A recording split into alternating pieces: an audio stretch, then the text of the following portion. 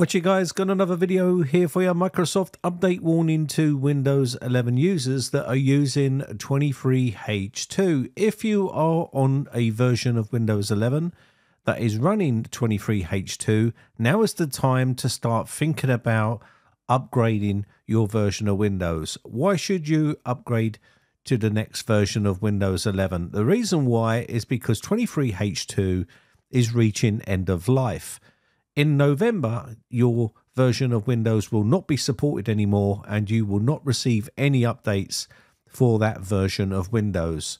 So if we look at the system settings here, if you are on a version of Windows 11, you might want to check just to make sure what version you're on. You can see this version is Windows 11 Pro 23H2, which means in November, this version will cease to receive any updates whatsoever. Now, I understand that 23H2 has probably been one of the best releases for Windows 11 that Microsoft have released. It's been very uh, trouble free for a lot of people. A lot of people have not had a lot of issues with 23H2. But as you can see here, this tells you exactly when Windows 11 23H2 for desktop PCs and home PCs ends. And it ends in one month and three weeks, which is 11th of November 2025. Once you reach that date, you will not receive any more updates for that version of Windows. There is no extended security updates for this version. You will get no more security updates, no more feature updates, nothing. Now, a lot of people might be thinking it might be wise to continue to use it, but it's not wise to use that version of Windows once it ceases support from Microsoft. You can see 24H2 has one more year uh, and it has up until October 13th, 2026. So basically, on 24H2 version, if you upgrade to that version, you have one more year if you want to stay on that version. In October, hopefully 25H2 will be released to the general public. Microsoft have now made that ISO available on the Windows Insider program, so it could be released very, very soon to the general public. Now, I've heard from Microsoft and read that the code for Windows 11 24H2 and 25H2 is exactly the same, so it's quite easy to roll out updates for that. I don't think you can skip 24H2 and go to 25H2 using the Windows update method because I don't think it will be available to you via that method. So you might need to go to 24H2 first. Now, if you have any policies in place in Group Policy Editor or the registry or any other type of policy that's been set by a program to stop feature updates being updated on your version of Windows, you will need to remove this first before you can update. Otherwise, you're just simply not going to be able to update to that version. Now, for people that are on Windows 11 23H2, some people have complained that they don't get the offer to go to 24H2 after they've frozen uh, the feature updates. And if that is the case, you might need to manually update, and I'll show you that in a second. But first off, if you do have any registry edits, if you're on Windows 11 Home and you've put a policy in place inside the registry to stop feature updates, then you will need to also remove that or reverse it to stop that from blocking the feature updates. Now, a lot of people obviously don't want to go to 24H2 because of the problems that's been happening with Windows 11 24H2 version. Some people have had no issues whatsoever with 24H2, and yet some people have been plagued with issues non-stop on that version of Windows. I was one of those people that had a lot of issues with 24H2 and it forced me to even go back to Windows 10 for a period just because I needed a PC to work properly without any downtime. So you can see here we're fully updated here right now on 23H2 and you can see we're not being offered the 24H2 version. And sometimes this can happen when you've paused feature updates. It might take a while for this to come through. And unfortunately, uh, sometimes that you might need to force the update via using different methods. And I'll show you how to do that now if you're in this situation where you've done all the updates and there's no offer for 24H2 and you are on 23H2. So you can see we're still on 23H2 right here.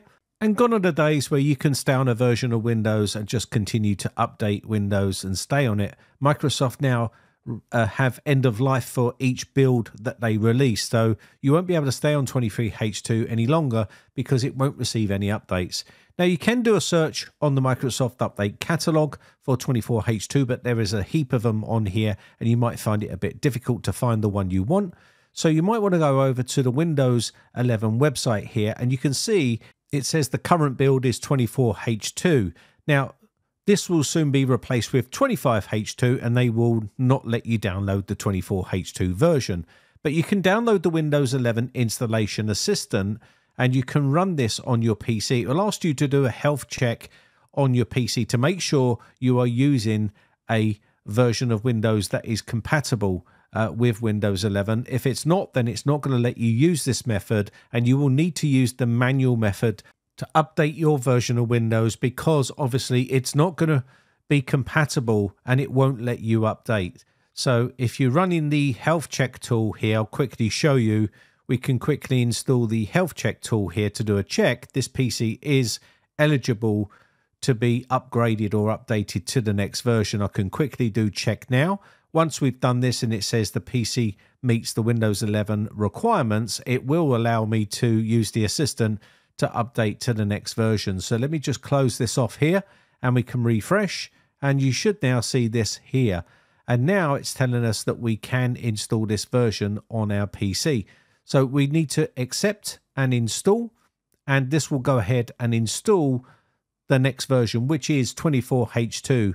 So we'll be going from 23H2 to 24H2 using the assistant method. Now, of course, like I said, if you are on unsupported hardware, you will need to do a search and you can go over to the catalog. Let me just quickly show you this so you can see. Rather than do a search for 24H2 here, you might be able to do a search for this file right here, which I'll do a search right here because there's quite a few of them to look through and you might find it a bit daunting.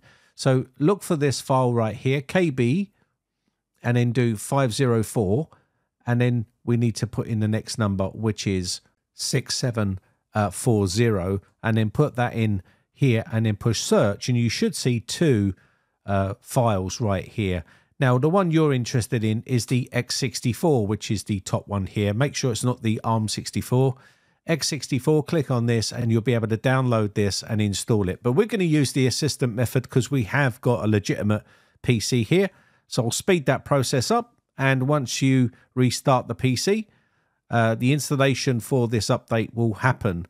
Now, of course, all your data will be saved and all the applications will be saved. It's just a, a normal update with a, a feature update involved in it. So that's why it's going to take a bit of time. But once you get back to the desktop here, we can now go to our settings right here and we can now go to system and then go to about and you'll see that we should now be on 24H2 right here. There we go.